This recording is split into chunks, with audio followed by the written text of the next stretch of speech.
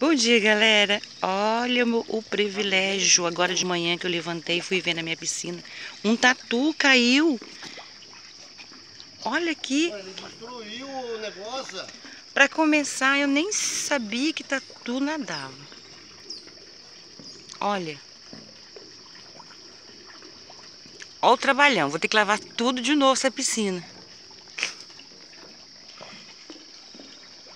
E olha, competidor ainda, olha.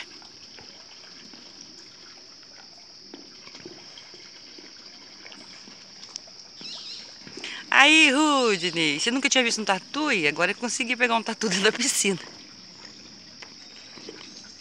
Você nunca viu tatu nadador? Olha que danado. Quero ver qual que é. Vai, mas ele é grandão. Enorme.